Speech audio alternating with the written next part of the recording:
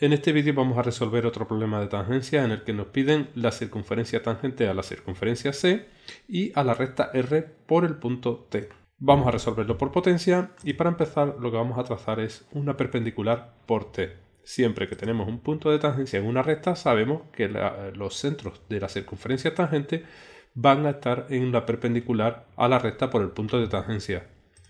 Así que en perpendicular trazamos Perfecto, ahí lo tenemos.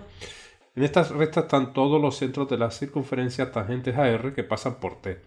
Pero nos interesan dos. Una va a estar por aquí, vemos que va a ser aquí, y otra va a ser aquí. En ambos casos son circunferencias interiores a la circunferencia C. Ahora nos interesa una circunferencia auxiliar, cualquiera, que sea con radical a las dos circunferencias tangentes, es decir, que sea tangente a la R por T, pero que corta la circunferencia C. Así que nos vamos a un punto cualquiera. Vamos a probar este.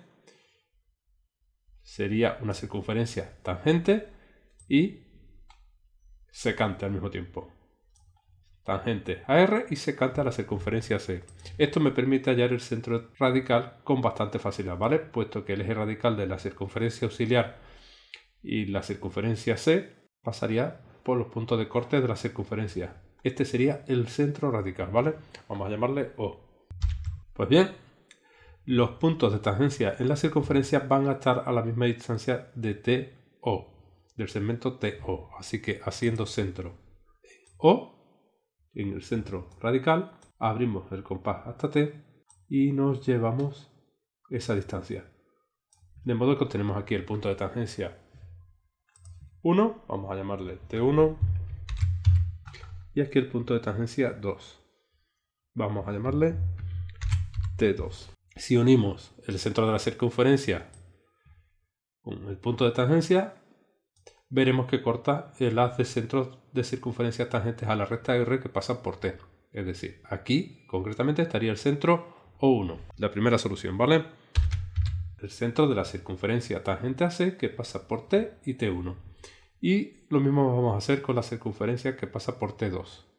Unimos el centro con T2 y obtenemos este punto que será O2, el centro de la circunferencia que pasa por T y por T2. Ya solo me queda hacer centro en O1 y ajustar el compás hasta alguno de los puntos de tangencia. Debería ser lo mismo uno que otro. Y trazamos circunferencia, ¿vale? Lo hemos trazado desde el punto 1 que era este.